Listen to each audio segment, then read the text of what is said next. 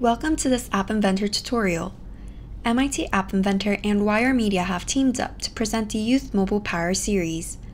As part of the series, Moodring allows teens to check how they are feeling using any combination of emojis. Now let's begin. Once you open up the webpage with the app building guides for the Youth Mobile Power series, you'll be able to open up Moodring right here. The link to this page is available in description down below. This will take you to an app inventor where you can now get started on creating your app. On the side, you can see more information about the challenge, how to connect your app, a mood counter tutorial, and how to expand your app. You can use the mood counter tutorial for a text version of how to build this app. For the purpose of this video, we will close out of this section. Click on Toggle Tutorial to do so. Here is the demo of the Mood Counter app.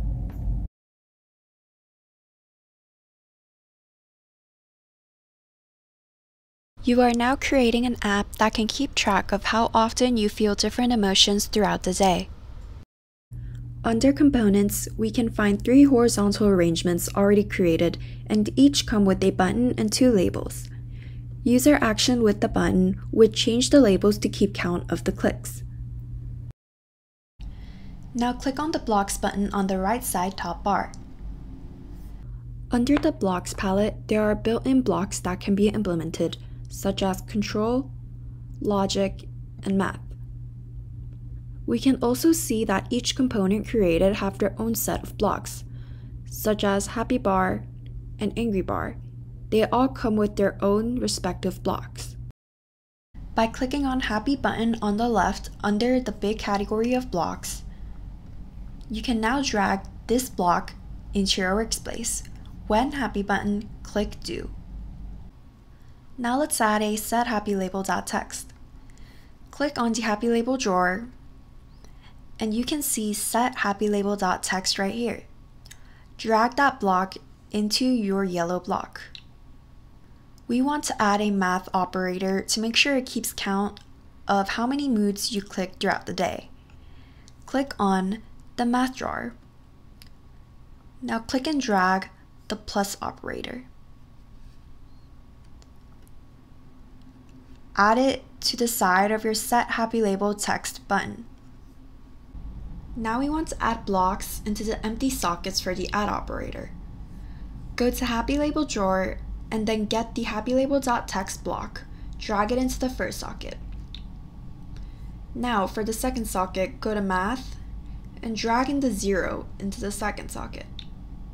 You can change this number into any integer or any number you want, but now we want 1. What this code does is that when the user clicks on Happy button, the Happy label text will change to an original value plus 1 to take into consideration the additional click. We must now connect our AI companion. If you click on Connect, you can see the AI companion button right here. Scan this QR code from your companion app and it will connect you to the project you are currently working on. Now let's try clicking on different emojis with our companion app. You must have your device for AI Companion connected if not already done so.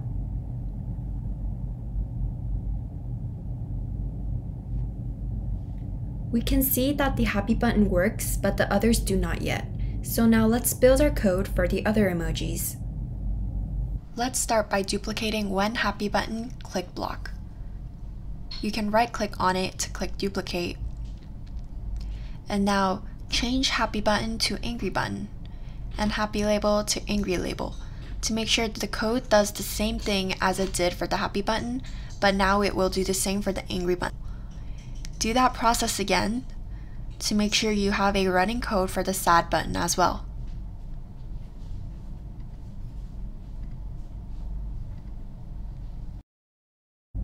Let's check with our companion app again.